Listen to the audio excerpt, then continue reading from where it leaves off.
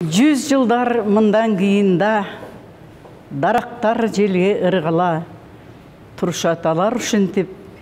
биз гана жокпуз бир гана деп ошону жазган эралиев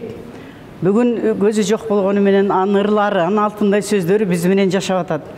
бул эралиевдин башка акындардан өзгөчөлүгү сезимталдыгы турмушту өзүндөй бергендиги ошондой эле көркөм дөөлөтү баарынан деңгээли бийик бул акын башкалардан башкача сезген үчүн. Бул жүз жылдан алдындагы окуяны сезген үчүн мунун чыгармалары дагы поэмалары дагы баардыгы акындардан өзгөчө кылып турган ушул. Бул сөздү пайдаланууну абдан жакшы билгендиктен бул сөздүн атасы деп да айтчубуз да эралиевдин ырлары поэмалары бул кылымдан кылымга кете берет. Кыргыз барда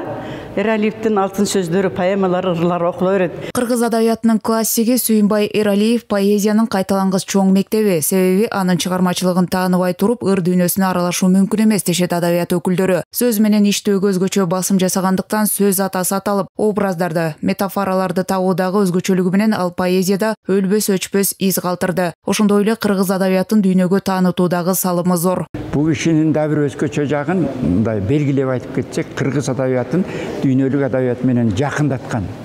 абдан жакындаткан киши жанагы василий теоркин деген твардовскийдин айтылуу ыр менен жазылган романынан баштап тиги шиллерлердин рабиндранат тагордун чыгылып кай жерде татаал поэзия татаал акындар болсо аларды да которуп анан ар бир акындын ошол нуска тилинде берилген нерсени жазбай так ошол стилде ошол мааниде кыргыз тилинин баягы бир эмесин адекваттуу деп коет эмеспи мындай өзүнүн баалуулуктарын ошол түрүн таап эралиев ошону дагы чоң мектеп түшүп кеткен киши да сүйүнбай эралиевдин ырлары бир миң тогуз жүз отуз тогузунчу жылдан тарта жарыялана баштаган биринчи поэтикалык жыйнагы биринчи жаңырык деген ат менен бир миң тогуз жүз кырк тогузунчу жылы жарык көргөн анын чыгармалары көп тилдерге которулуп жылдыздарга саякат поэмасы бир миң тогуз жүз алтымыш жетинчи жылы югославияда басылып чыккан сүйүнбай эралиев менин жеке баамымда жыйырманчы жыйырма үчүнчү кылымдардагы кыргыз поэзиясынын эң бийик берметтеринин бири мүмкүн алкул осмоновдон биздин улуу классик өзүнүн тирүүсүн эле ошондой баага арзаган акын окурмандарын мекенди сүйүү адамдык асыл нарктарды баалоо жана ага үйрөнүү өмүрдү баалоо сыяктуу түбөлүктүү темаларга үндөп келген. Эралиев кыргыз поэзиясында биринчи болуп эркин ыр формасын жылдыздарга саякат поэмасында чеберчилик менен пайдаланган ал кишинин поэзиясы бул кыргыз поэзиясына жаңылык ачкан өзүнчө поэзия. Ал биринчиден элдик салттуу поэзиянын накта улантуучусу анан дагы кийинки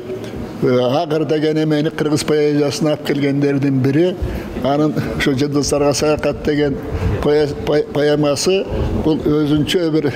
кыргыз поэзиясында жаңылык ачкан өзүнчө бир урулуш болгон. Мына ошондон кийин кыргыз акындары агыр менен жазууга өтүшкөн. Эл акыны сүйүнбай эралиев бир миң тогуз жүз жыйырма биринчи жылы он бешинчи октябрда талас районуна караштуу үч эмчек айылында жарык дүйнөгө келген. бир миң тогуз жүз кырк экинчи кырк төртүнчү жылдары улуу ата мекендик согушка катышып оор жарадар болгон. Эмгек жолунда бир катар жоопту кызматтарды аркалаган. бир миң тогуз жүз жетимиш төртүнчү жылы ага кыргыз эл акыны наамы берилген токтогул атындагы мамлекеттик сыйлыктын үчүнчү жана биринчи даражалуу манас элдердин достугу ордендеринин ээси. Эки миң алтынчы жылы кыргыз республикасынын баатыры наамы ыйгарылган. Эки миң он алтынчы жылы токсон беш жаш курагында дүйнөдөн кайткан. Каныкей бозгунова талас аманбеков бешинчи канал